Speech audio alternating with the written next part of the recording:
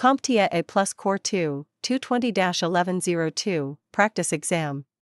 Questions 31 through 35.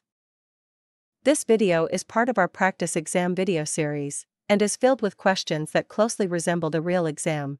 So are you prepared to test your knowledge? Great, let's begin. Question 31. During the implementation of a new customer relationship management system, unexpected issues arise related to data synchronization between departments, affecting multiple functionalities.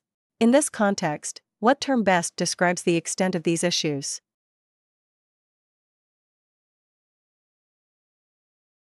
The answer is A. Scope. Scope and change management encompasses the extent of the issues encountered, including the affected systems, activities, objectives, and deliverables associated with a specific change. It outlines what falls within the purview of the change and what remains outside its boundaries. Question 32. A technician recently set up a new workstation with Windows 10.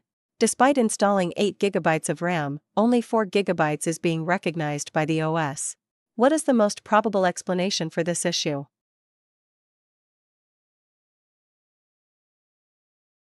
The answer is B. The system is running a 32 bit OS. A 32 bit operating system, such as Windows 10 32 bit, can only address a maximum of 4 GB of RAM. This limitation is due to the binary nature of the 32-bit architecture, resulting in a total addressable memory space of 4 GB. Therefore, even if more than 4 GB of RAM is installed in the system, a 32-bit OS can only utilize up to 4 GB, resulting in the remaining RAM being unrecognized or invisible to the system. Additionally, a small portion of this 4 GB address space is reserved for system hardware, so even less will be considered usable. Question 33. While attending a conference at a convention center, a participant attempts to connect to the public Wi Fi network. However, they notice several Wi Fi networks with similar SSIDs, making it challenging to discern the legitimate one. Which of the following social engineering tactics is likely being employed in this scenario?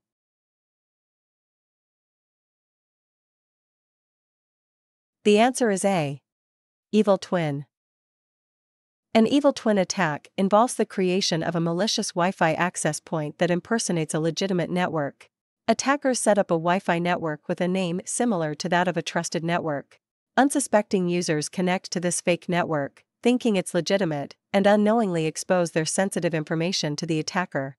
The attacker can then intercept and manipulate the user's network traffic, potentially capturing login credentials, financial information, or other personal data. Question 34. A user attempts to boot up their computer but encounters an error message stating, No OS found. The technician investigates the issue and discovers that the system had posted a smart error a few days earlier. What is the most likely reason the system firmware is unable to locate the OS?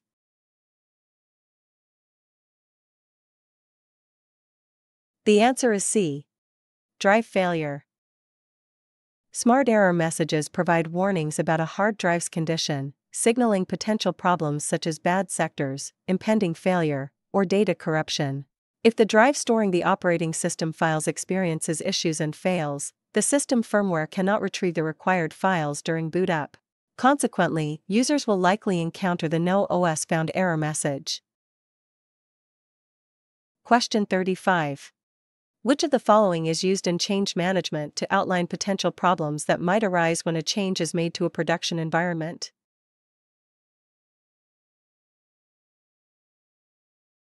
The answer is D.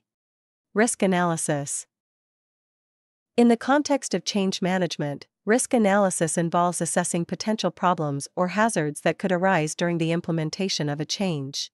This process identifies and evaluates factors that may impact the success of the change, such as technical challenges, resource limitations, or unforeseen complications. By conducting risk analysis, organizations can anticipate and prepare for potential obstacles, allowing them to mitigate risks and increase the likelihood of successful change implementation. So, did any of these questions give you a tough time? Don't worry if they did, it's all part of the learning process. Luckily, Certification Cynergy has a wealth of free video content at your disposal. To stay connected with our latest IT learning resources, just give a quick click on the subscribe button. This simple action ensures you're always updated about our newest video releases.